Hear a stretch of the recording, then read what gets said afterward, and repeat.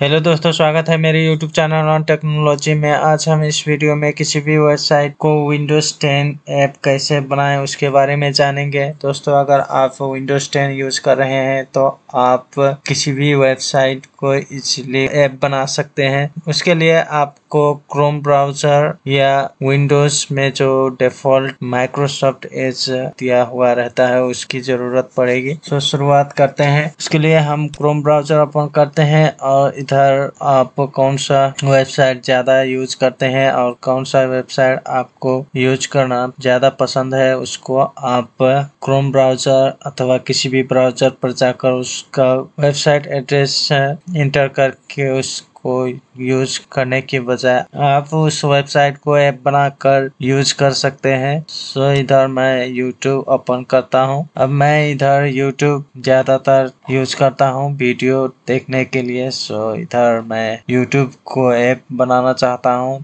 तो YouTube open कर लिया हूँ और इधर आप देख सकते हैं कॉर्नर पर इधर थ्री डॉट दिया हुआ है। उस पर हम क्लिक करेंगे। उसके बाद मोर टूल्स पर जाकर इधर क्रिएट शॉर्टकट लिखा हुआ है। उस पर हम क्लिक करेंगे और इधर ये YouTube है, इसीलिए YouTube ही रहने देंगे। और अपन इस विंडो पर टिक लगाकर क्रिएट करेंगे। इसको मैं बंद कर देता हूँ। आप देख सकते हैं डेस्कटॉप पर इसका शॉर्टकट आ चुका है। आप इधर इसको इधर से अपन कर सकते हैं। टास्क बार में रखना चाहते हैं तो इसको आप इधर से ड्रैग एंड ड्रॉप कर सकते हैं। इस तरह से टास्क बार में पिन कर देंगे तो इस पर क्लिक करेंगे तो ये डायरेक्ट ओपन हो जाएगा। आपको किसी भी ब्राउज़र ओपन करके यूट्यूब ओपन करना नहीं पड़ेगा। आप इधर सर्च में जाकर यूट्यूब लिखेंगे तो आप देख सकते हैं सबसे ऊपर इसका यूट्यूब ऐप बनकर आ चुका है। विंडोज़ टेन में शॉर्टकट क्रिएट करना ही ऐप बनाना है। सो आप देख सकते हैं इधर ये यूट्यूब ऐप आ चुका है। इस पर आप क्लिक करेंगे तो यूट्यूब इधर से भी ओपन हो जाएगा। इस तरह से, इस तरह से आप क्रोम ब्राउज़र के मदद से किसी भी